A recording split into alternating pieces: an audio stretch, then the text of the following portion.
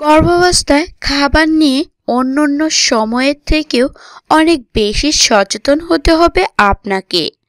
কারণ মায়ের খাবার থেকেই তো গর্ভের শিশু পুষ্টি পায়। এটা সবটা সময়ে আপনাকে মনে রাখতে হবে। গর্ভাবস্থায় নারীর জীবনের জন্য অনেক গুরুত্বপূর্ণ।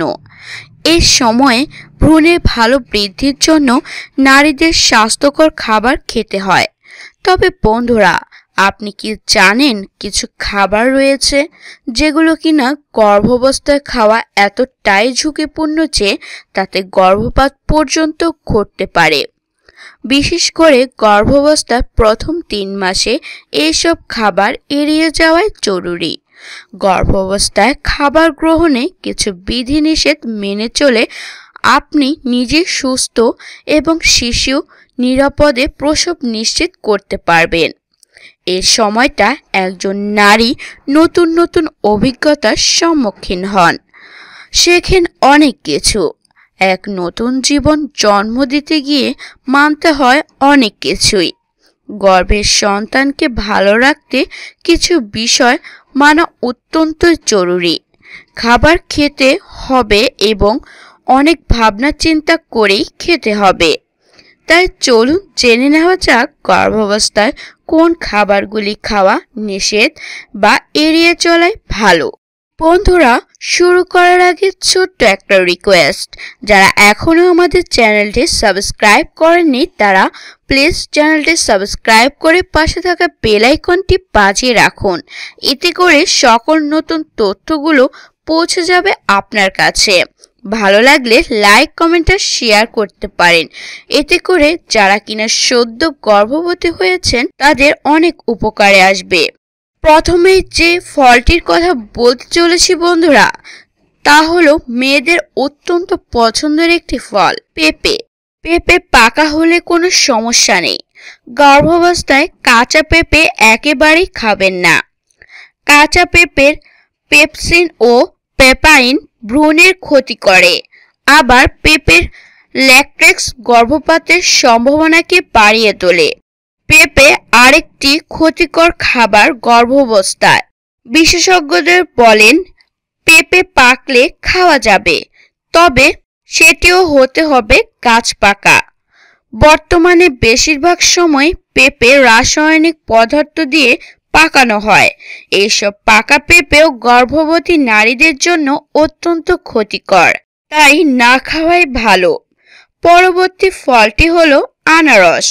গর্ভাবস্থায় আনারস খাওয়া একদমই যাবে না, কারণ এতে রয়েছে উচ্চমানের ব্রোমেলিন, যা কিনা জরায়ুকে নমনীয় করে ফেলে। যথাসময়ের আগেই প্রসব যন্ত্রণা দেখা দিতে পারে বা মিসক্যারেজ হতে পারে। বিশেষত এইসব সমস্যা এড়াতে গর্ভধারণের প্রথম তিন মাস আনারস খাওয়া একদমই যাবে না। এমনকি আনারসের জুসও খাওয়া ফলে গর্ভপাতের কারণ হতে পারে। আনারস গর্ভবতী মা ও শিশু দুইজনের জন্যই অনেক বেশি ক্ষতিকর। তাই না খাওয়াই অত্যন্ত ভালো। গর্ভকালে আঙ্গুর খাওয়া যাবে কি যাবে না? এ নিয়ে মতবিরোধ রয়েছে। কোনো কোনো মেডিকেল বিশেষজ্ঞর মতে আঙ্গুর খাওয়া যাবে না। আবার অনেকে বলছেন খেতে কোনো সমস্যা নেই। তবে আঙ্গুর খেতে কেন নিষেধ করা হয়? চলুন বন্ধুরা, জেনে নেওয়া যাক। আঙ্গুর খেতে নিষেধ করা হয় কারণ পোকামাকড়ের আক্রমণ রোধে আঙ্গুর গাছে প্রচুর পরিমাণে পেস্টিসাইড স্প্রে করা হয়।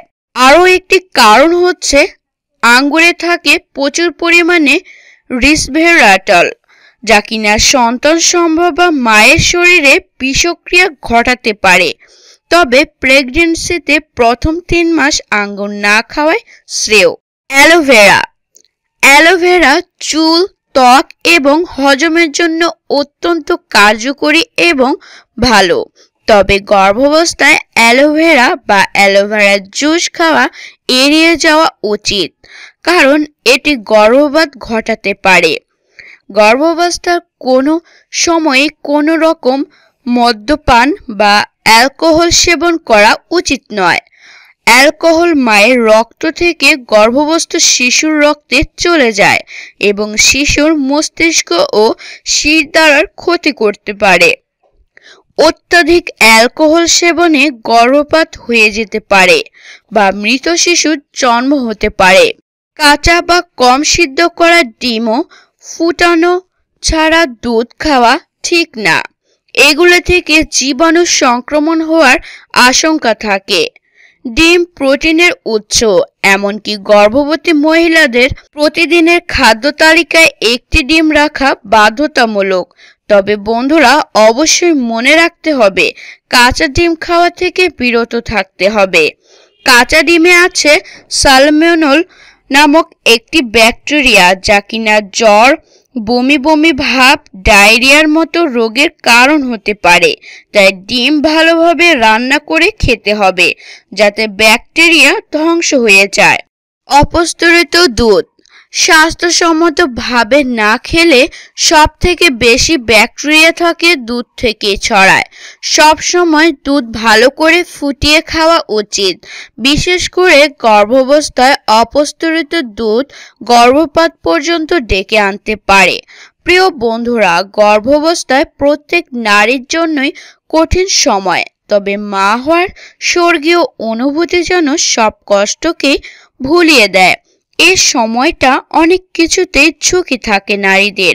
তাই গর্ভাবস্থায় অনেক সচেতন থাকতে হবে আপনাকে। ছোট্ট একটি ভুলে গর্ভপাত সম্ভাবনা থাকে। তাই গর্ভপাত এড়াতে সতর্ক থাকুন। আজকে এ ছিল আয়োজন। ভিডিওটি কেমন লাগল অবশ্যই আমাদেরকে কমেন্ট বক্সে কমেন্ট করে জানাতে ভুলবেন না। ভালো লাগলে একটি লাইক দিতে ভুলবেন না বন্ধুরা। সেই সাথে আমাদের চ্যানেলটি যারা নতুন দেখছেন, তারা প্লিজ চ্যানেলটি সাবস্ক্রাইব করে পাশে থাকা ঘন্টাটি বাজিয়ে রাখুন। এতে করে নতুন আপডেটগুলো পৌঁছে যাবে আপনার কাছে। ভিডিওটি দেখার জন্য অসংখ্য ধন্যবাদ জানিয়ে আজকের মতো বিদায় নিচ্ছি। আল্লাহ হাফেজ।